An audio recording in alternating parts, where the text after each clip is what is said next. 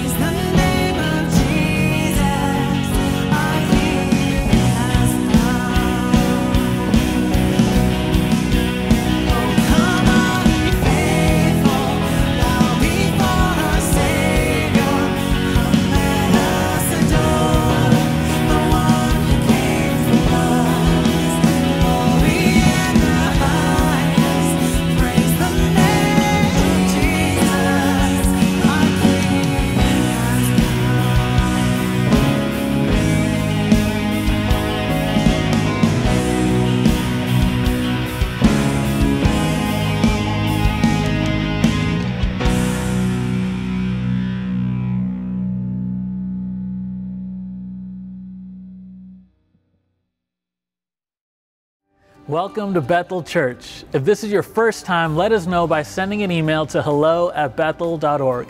We've even got a Starbucks gift card just for you. Join us in the Zoom lobby after service by clicking the link in the chat. We look forward to connecting with you.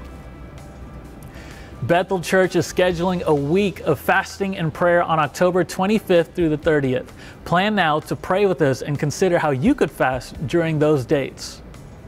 Bethel Church is interested in hearing from you regarding how you and your family are doing during the COVID 19 pandemic. A survey is available on bethel.org for you to complete over the next few weeks. Remember, inviting others to both online and drive in church is one of the easiest invitations you'll ever make. Use your favorite social media to like, share, subscribe, and invite others. As we transition into a time of offering, we want to thank you for your continued support and faithful giving. You can continue to make a difference by giving on one of these three ways. The first one is online at bethel.org/give. The second is through our Church Center app, and the third is through text. Just text the amount you would like to give to the number 84321 and press send. It's that simple. Thank you again for your generous donation. If you have any questions about any announcement I've just shared, send us an email to hello at bethel.org and a friendly staff member will help you. Now let's welcome Pastor Frank as he comes to share with us the fifth message in our series, Living on Purpose. Well, hello and welcome to Bethel Online, both San Jose and our Santa Clara campuses. Big shout out to you, all of you who are guests. Thanks for taking some time to tune in today. Uh, depending on uh, when you're tuning in, we're just getting uh, all ramped up for drive in church as well at both San Jose and Santa Clara, or we're just wrapping it up. Either way, we're just glad that you're here. I want to mention again about a time of prayer and fasting that kicks off next Sunday. There's going to be a prayer outline for you next Sunday. it's Going to be a super important time. Also, want to give a big shout out to Pastor Tom Witt, just turned 90 last Thursday.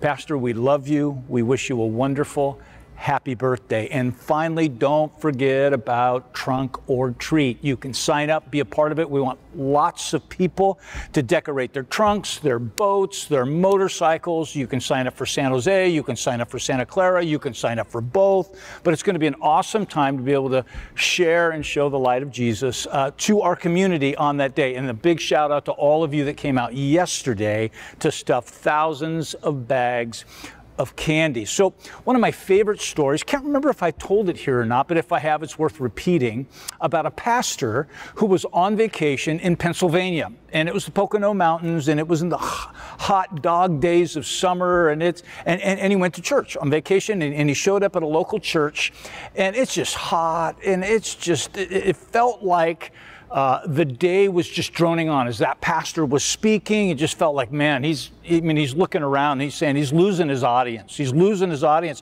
And then all, I mean, eyes are glazing over. And all of a sudden, this pastor, just in a booming voice, yells out to his congregation. And the best years of my life have been spent in the arms of another man's wife. Well, everybody's awake now They've gasped. They can't believe what they've just heard. And then he goes on and he goes, That was my mother, you know, the best years of my life, the man of another man's wife. Well, my, my mother, well, they're relieved to say the least, and everybody chuckles. But the vacationing pastor goes, Oh, I need to tuck that one away. So fast forward a year. He's preaching in his own church. And it's one of those hot, lazy days, man, summer Sundays. And he's losing people, and eyes are glazing over. And, and, and finally, he remembers from a year ago when he was visiting that church in the Pocono Mountains. And so he just decides he's just going to pull the story out impromptu. And he lets out in a booming voice the best years of my life have been spent in the arms of another man's wife. Well, his congregation, they gasp, they sit up straight. I mean, you know, he's got, he's got their attention now, and he knew he had them, but then he said, I forgot what came next in the story. And in a moment of panic, all I could say was, and for the life of me, I can't remember her name. Um, I love that story it's important to get the story right. It's important. You and I can have the best of intentions, but if if we don't get the story right, we end up spreading the wrong message. And we continue in this teaching series that we've been in now for several weeks, Living on Purpose. We're learning how to cooperate with God's Spirit and His strategy to bring about His mission, both in our lives. God has a mission for your life, but also through our lives. He wants us to become more like His Son, and then He wants us to help people everywhere to become more like His Son, or in other words, become disciples of Jesus, neighborhoods and nations, ev- everywhere. And I've been saying it for weeks now in this series, but the colossal challenge to this, and if you didn't hear the very first teaching that I did in this series, I encourage you to go back and listen to it. Um, we're in a spiritual war. There's, there's a war in an unseen world that the Bible's very clear about. It's very real. Just because we don't see it doesn't mean it isn't real. It's a spiritual war, it's with an unseen adversary who pushes against the mission, who pushes against what God wants to do in our lives and in the world, who pushes uh, against it. And furthermore, we don't fight like the world fights. It's so easy to fight like the world fights. Just return ugliness for ugliness. It's almost natural. But if I'm a follower of Christ, I don't get to do that. I charge the darkness, you charge the darkness a whole different way. And we're learning what that looks like to charge the darkness in these last days. We learn from the first church in Acts chapter 2. God's presence, His Spirit is poured out on them. And then you begin to see them live on purpose. And you see them adopting these certain behaviors, these key, what I call building blocks to living on purpose. And it's a 5G life because they all start with G. And we've been walking through them. We gather in healthy community. We grow as disciples. We grow up in our faith. We give back in service for Jesus' sake. We go as witnesses. We glorify God always. Always points back to Him. It's always about Him. These are core behaviors of a disciple. And today we continue with go as um, a witness. Go as a witness of Jesus. Now remember again, and if you have your Bibles, you might want to turn there real quick, but, but Acts chapter 1, the disciples are asking a prophecy question of Jesus. When are you going to come and basically set up the rule of Israel? In other words, when are you going to over, overthrow Rome and set up Israel's uh, kingdom? Jesus' answer, and, again, I'm not going to turn there, but it's interesting. In verses 7 and 8, he says, It's not for you to know the times and the seasons which the Father has already established by his own authority uh, don't, don't worry about it. But he says, But you'll receive power when the Holy Spirit comes on you, and you'll be my witnesses. Jerusalem, Judea, Samaria, ends of the earth. Witness. Uh, that Greek word there can translate witness or martyr. Well, what's a, what's a martyr? A martyr is somebody who dies for their cause. They give their life for the mission. That's Jesus' point. Maybe not physically die for the mission, though many have, but give your life away to me and the mission. In other words, be all in. In other words, I'm no longer, if I'm a construction worker and, and I'm a follower of Jesus, I'm no longer a construction worker. Now uh, I'm a, a, witness who is a construction worker. If I'm an engineer or a business owner or a CEO or a soccer mom or dad or a, or a landscaper, whatever it might be, now I'm a witness who is also those things. Never off the clock, been saying that. You're always an ambassador. We always represent Him. Remember Matthew 28, the Great Commission, right? Verse 19.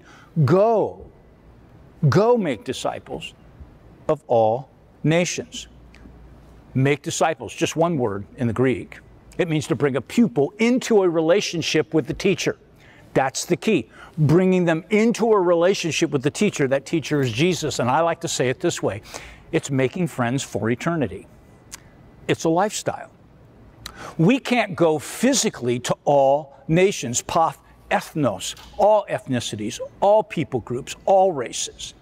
But we can send people to all nations. And of course, that's the heart of missions, which we get that at Bethel Church. We pray, we give, we go, so that all nations have a shot at becoming a disciple. And I'll just put a bug in your ear right now. It's a month away, Mission Sunday. Mission Sunday, November 15th. I think it is going to be a really cool day. A really cool day. Not only are you going to have an opportunity to watch and listen to an interview I did with Hal Donaldson, who is the founder and the president of Convoy of Hope, an amazing organization, but Convoy is bringing us free of charge a semi tractor trailer load of, of non perishable foods, non perishable foods. And we are on Mission Sunday going to feed our neighbors.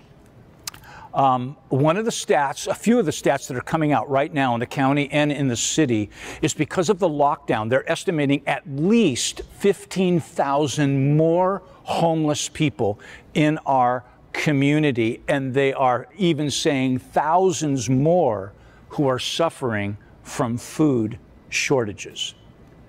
So we're going to be a part of the solution. And we're going to take and unload and we're going to feed our neighbors that day. But here's the cool thing we're not going to just feed our neighbors, we're going to feed nations. And we're going to receive on November 15th a one day to feed the world offering, one day to feed the world offering for Convoy of Hope. Convoy of Hope does amazing things all around the world. What, one of the things they do is feed about 330,000 kids every single day in about 11 or 12 nations. What is one day to feed the world? It's real simple, and everybody can be a part of it. You give one day's wage. What do you make a day? Give one day's wage away so that kids and families in some of the most destitute places on earth can have hope every day. I've been to some of those places abroad. It's an amazing way to make a difference in the lives of kids and families. We're going to feed on November uh, 15th neighbors and nations. We're going to be showing video, videos over the next few weeks from Convoy of Hope. You're going to be seeing those each week uh, leading up to November 15th, and then we will receive that one day to feed the world. And I just want to say to our church family, to Bethel family, this is above our tithes, this is above other offerings. Laura and I give to missions every month. We tithe every month. Our one day to feed the world is going to be above that. That offering is going to be above that. So I just encourage us to get ready. I realize some of you can give far more than one day's wage, which is awesome. If God leads you that way, uh, please do. But let's all of us give at least one day's wage to help people have hope every day. Bethel Church, we understand not only do we go, not only do we send others to go, but we also understand when it comes to the ends of the earth, they've come to Silicon Valley. I've talked about this before. And it's easy to look around in our valley. It's easy to watch people on the roads and in the high tech companies and oil companies and others that are headquartered here and think nobody cares about Jesus. Nobody cares about the gospel. They don't care about that stuff. For the most part, it's a post Christian culture, which is true. But it's not true that people don't care the majority of people in America, especially in our cities, don't know about Jesus. They actually don't know what the gospel means. Now, they know religion, they may know about a church, they know rule keeping, you know, people who are rule keepers. They might know a Christian who maybe attends church and serves in their community, and that's great. But there are far, far more people that are less informed about who Jesus is and what he actually came to do. Let me give you an example. Every person knows what it feels like to have the, the feeling of incompleteness. Incompleteness. There's a longing that's in us, and we're not even always sure what it means but it's there. And it doesn't mean we don't enjoy life. It doesn't mean we don't take great vacations. It doesn't mean we don't enjoy our family. It doesn't mean any of that. Uh, it's just a longing. That's what it is. There's this income, things aren't complete. Now, the Bible speaks to this a lot, not in that language, but it speaks to it a lot. Romans 8 in the letter of Romans is one of the great places where it speaks very clearly. And it says, There is a groaning in us all. There is a longing in us all. Hey, it's not just in humans. It's in the cosmos. It's in creation itself. It's in, there is in everything. There is this longing. We know the world isn't okay. You can be an atheist and still recognize that. So, what do we long for? Well, what we really long for is renewal. Now, we don't use that language. We would say we long for our life and our world to be better. Who would disagree with that? Like, who would say, I don't want it to be better? Nobody would do that. We long for justice. We want wrongs to truly be corrected. We long for mercy. We want to be free from labels in our old past, our past, and other things that keep us from what's best today and moving forward today. We want to be free from that stuff. That's part of the work of mercy in somebody's life. We long for peace. We long for hope that what's broken can be restored. It can be better. It can be renewed. And not only do we want that renewal now, we want it to last forever. Why wouldn't we? Why would we want a renewal that could be taken away? Why would we want it to be taken away? We want it forever. Romans chapter 8 in the scripture says all creation groans. Earthquakes, fires, tsunamis. You can go down. The, the earth itself groans. We all groan. And then John a disciple of Jesus, in his gospel account in the, in the book of John, he comes along and he says about Jesus in chapter 1 and verse 14, and the Word was made or became flesh. The Word, Logos, this life giving, life saving, life redeeming, and restoring Word became flesh. He took on humanity and he dwelt among us, and we have seen his glory. John was an eyewitness, he was there. We've seen his glory, the glory of the one and only Son from the Father. Here it is full of grace and truth. Full of grace and truth. Why is this so important to understand? Grace and truth is the remedy to the incompleteness that we sometimes feel, the groanings, the longing that sometimes we experience deep in our gut. You see, grace is God's power or His provision to bring a complete and permanent renewal. We can't do that on our own. If we could do it on our own, our world would be renewed today you wouldn't have those longings. If we could pull it off, it would be pulled off by today. We can't. So, grace is the power to see that incompleteness become complete and to remedy the groanings, bring renewal, transformation, change. Truth, so grace and truth, right? Great truth is the picture of renewal. Grace is the power, but truth is a picture. There is a, there is a picture, and it's this picture is what renewal is, what completeness is in our lives. You can't get there any old way. There has to be a picture that satisfies the longing in our lives. Jesus, who is full of grace and truth, is both the power and the picture of complete and a forever life. So, how do we who know Jesus already be his witnesses of this incredibly good news that most people in America don't even understand? In fact, I would venture to say, maybe not a majority, but a good, a good amount of people in church don't understand this. They've never been taught this. Yet it is central to the gospel of Jesus Christ. How do we do it? How do we make friends for eternity? I want to leave you briefly with three takeaways out of John's gospel account, chapter 4. So if you have it on smart device or you got your Bible with you, let's turn to John chapter 4, Making Friends for Eternity. It's a powerful, powerful scene uh, about the attitudes and the actions of a witness. If you're a follower of Jesus, you are a witness. So here are some attitudes and actions. It's the story that Jesus encounters with a woman at the well. Let's look at a few verses, verses 3 through 9. So he, that is Jesus, left Judea, went back once more to Galilee. Judea's here, Galilee's up here. Now he had to go through Samaria. That's a really interesting phrase. You'll see in a minute. So he came to a town in Samaria called Sychar near the plot of ground where Jacob, one of the, the uh, patriarchs, Jacob had given his son Joseph. Jacob's well was there, and Jesus, tired as he was from the journey, it's the middle of the day, hot, man, it's hot. And he sat down by the well. It was about noon. When a Samaritan woman came to draw water, Jesus said, Will you give me a drink? His disciples had gone into town to buy food. Verse 9. The Samaritan woman said to him, You are a Jew and I am a Samaritan woman. How can you ask me for a drink?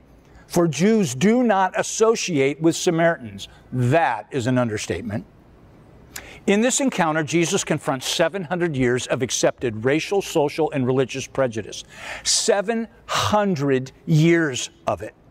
Jesus violates serious rules when it comes to being a teacher or a rabbi.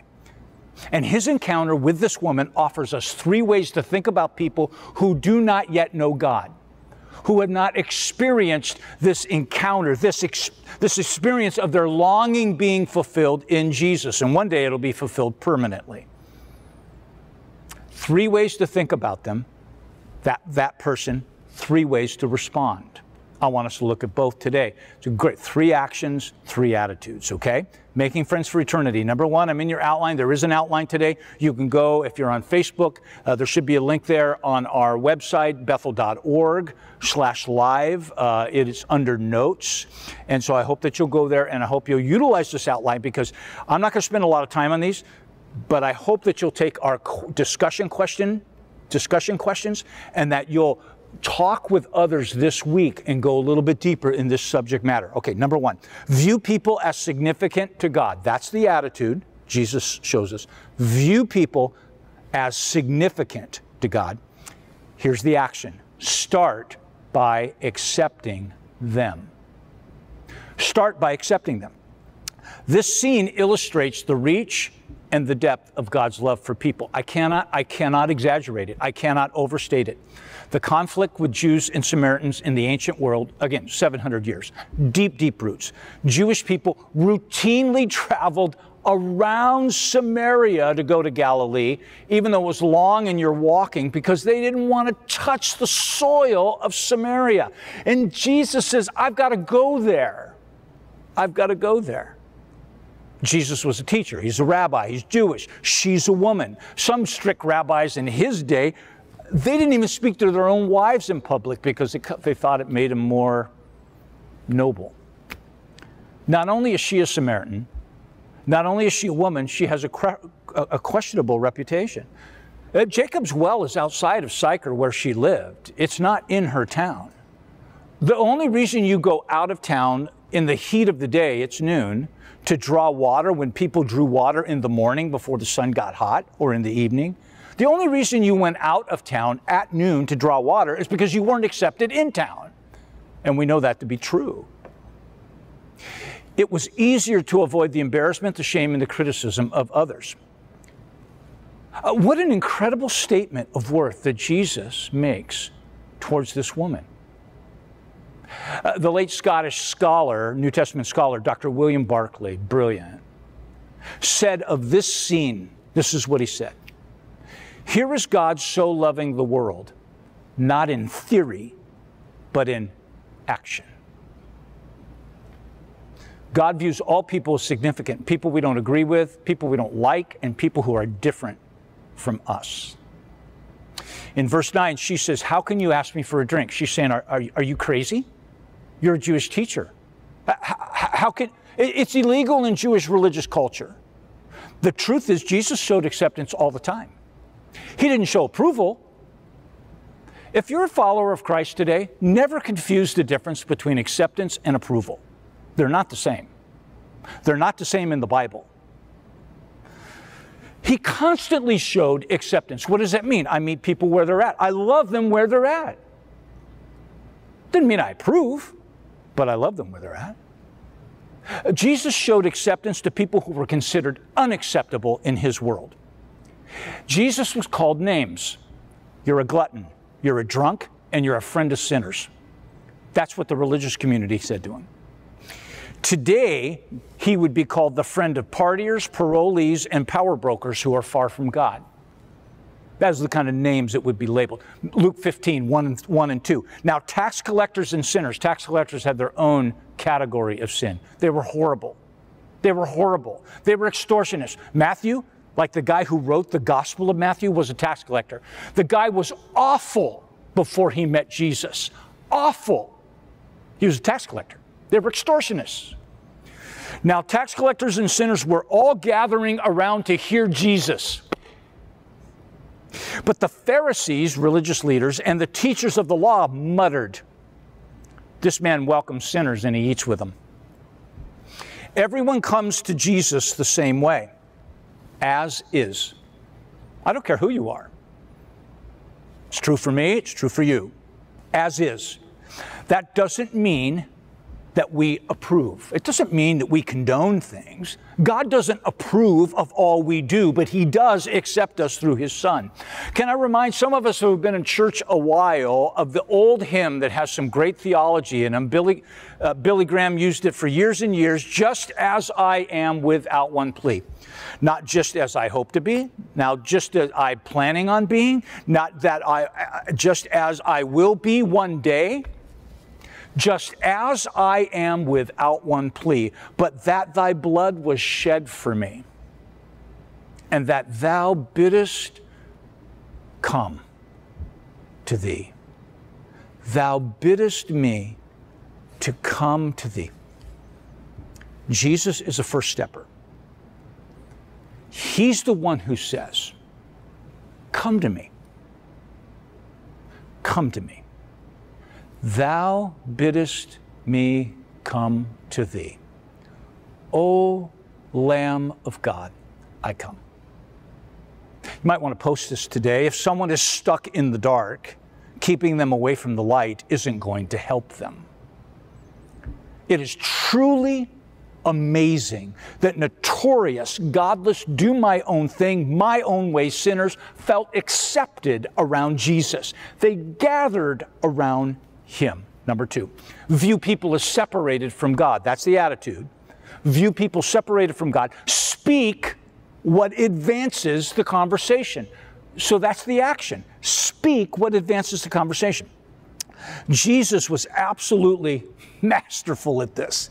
He didn't leave people where they were at. He had a plan for their life. And you see this exchange in the woman at the well. Jesus didn't look at people merely and see their actions. He saw their actions, but not just their actions, he saw their deepest needs also. It's really easy to forget a profound truth that's recorded in Romans chapter 6, verse 23. It reads this way For the wages of sin is death or separation, comma. But the free gift of God is eternal life in Christ Jesus, our Lord. Everyone you knew, everyone you know, everyone you see, the same is true for me, lives on one side of that comma one side or the other. They live on one side or the other of Romans 6:23 comma. They're either separated or connected with God. Every day life and death hangs in the balance. Every day. Jesus did not see this woman through racist eyes, though many did. He did not see her through religious eyes, social or cultural eyes. He saw her with eternal eyes. Eternal eyes. John 4 13 and 14. Jesus replied, Anyone who drinks this water will become thirsty again. But those who drink the water that I give will never thirst again. It becomes a fresh, bubbling spring within them, giving them eternal life. It is amazing to me how the hearts of hurting people soften when we take the time to advance the conversation. Jesus didn't go into the long, sordid 700 year history of why Jews and Samaritans hate one another. He just asked her about, his life, about her life. He cared about her. Her story in her heartache came out. And then he advances the story to living water. What does that mean? Well, a, here it means it's a metaphor for, for Jesus as the answer to the ache. He, he's the answer to the incompleteness in your life and mine. He, he, he is that answer. Number three, view people as searching for a Savior. View people as searching for a Savior. You heard me right. Sometimes folks don't want their, they don't know what they're searching for, but they're searching view people as searching for a Savior. That's the mindset, that's the attitude. Here's the action assist them in their spiritual journey. just be there for them, assist them. my, my sister sent me a story. It's pretty funny. It's titled The 100 Mile an Hour Goat. it's a metaphor for life. It goes like this There are a couple of guys that are out hunting. They come across this huge hole. I mean, it's cavernous hole in the ground. Goes down for who knows how long. And the first hunter turns to the second hunter and says, Man, I wonder just how far down this hole goes. It's absolutely enormous. Well, the second hunter turns to his buddy and he says, Well, let's drop something in the hole and let's see how long it takes before it hits, hits the bottom. So the first hunter turns around and he says, Well, here's an old car transmission. Help me pick up the transmission and we'll, we'll, we'll drop it in the hole and we'll count and we'll see how long it takes. So they do. They pick it up, they drop it in the hole, and then they, they count one 1,000, two 1,000, three 1,000. All of a sudden, as they're listening and, and looking over, over into the hole, they hear rustling behind them. They hear a lot of rustling. And, and, just as they turn around, they see this goat come blasting through the brush. I mean, he's crashing through the brush and he runs up to the hole without hesitation, jumps headfirst into the hole. Well, that's weird. They're looking at each other going, what was that about? They're trying to figure it out. And all of a sudden, an old farmer walks through the brush. And he asks them, say, hey guys, by the way, have you seen my goat around here? Well, the first hunter says, that's so strange that you would ask that because, I mean, just a minute ago, this goat comes flying through the brush. And I mean, he's doing 100 miles an hour and he jumps head first into this hole. And the, whole, and the old farmer, he says, Well, that's impossible because I had him chained to a transmission. Now, it's kind of a funny story, but that scene is also a metaphor for life. Sometimes, some of us are like those hunters. We're just clueless. We're clueless on what's on the other side of the chain. Some of us, sometimes, may even be like the farmer who wraps chains around the necks of others. But you know what I know to be true? We've all been the goat. We've all been the goat. You don't have to live long on planet Earth to be stung or hurt by others, either accidentally or deliberately. And it was certainly true of the Samaritan woman and her story as you read on her story in John 4, and I hope you read it all, she'd been married five times, and the guy she's with right now isn't her husband. She's been ostracized from her community, yet Jesus assists her in her spiritual journey. Verses 22 through 26 of John 4 You Samaritans worship what you don't know. We worship what we do, for salvation comes from the Jew. True. Verse 23 yet. Yet a time is coming and has now come when true worshipers will worship the Father in spirit and in truth, for they are the kind of worshipers that the Father seeks. Verse 24 God is spirit, and He worships, must be, uh, and worship must, and worshipers must worship in spirit and in truth. In other words, anybody can come and worship. Let it be in spirit and truth. She says, Well, I know that Messiah, called the Christ, is coming. So she knew the Old Testament scriptures. When he comes, he will explain everything to us. Jesus says in verse 26 Then Jesus declared, I, the one speaking to you, I am he. This is one of the few times where Jesus is crystal clear about who he is as the Son of God. There are hundreds of hurts, hundreds of pains that both we cause and that are caused by others. And all of it reminds us that, that things are not as they should be in life. They remind us that things are incomplete. They're incomplete. There is a world of people who are thirsting for something more. There is a world of people who are searching for something more. The early church father Augustine another guy that was just a sexual deviant before he came to God, became one of the great thinkers of all time. Augustine said, Our hearts remain restless, incomplete. Our hearts remain restless until they find their rest in Thee. People are searching for a Savior. They may not know it, but they're searching for a Savior. They're searching for someone who is full of grace and truth, someone who has the power to change what is broken, and then a picture of it truth. And you know, it takes people who are available, who have already drank from the living water. They've already experienced it. I mean, we're all in a journey. None of us are, are, are, are perfect. We're not there yet but we've experienced the living water. And they just need someone to show them where to find that living water for themselves. In just a moment, the worship team is going to come back up. And we're going to worship. And I pray that you make this next song a declaration for your life. But let me just say this, Bethel Church. People are more open than we may think to an invitation to connect an invitation over coffee, an invitation to a motorcycle ride, an invitation to a round of golf, to a church service or event like our trunk or treat. It's a great opportunity, not only to serve and give back, but to invite. People are more open than you might think to a get together in part of our life group. Be surprised.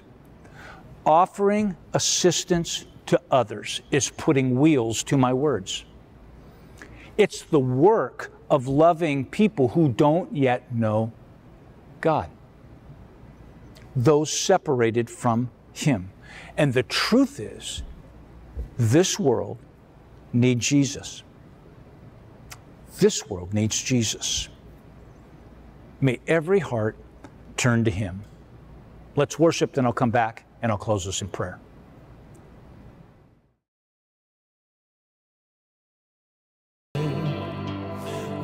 The pain